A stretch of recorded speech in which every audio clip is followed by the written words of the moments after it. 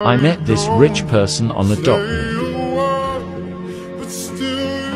We became friends. We played every day. Until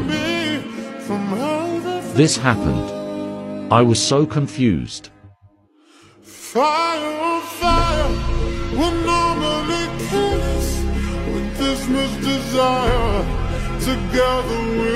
I was so shocked. Say that we're out of control, and some say we're sinners, but don't let them ruin. I felt so bad for her. Rhythms, 'cause when you unfold, She was so happy. tell me you love me and look in my eyes.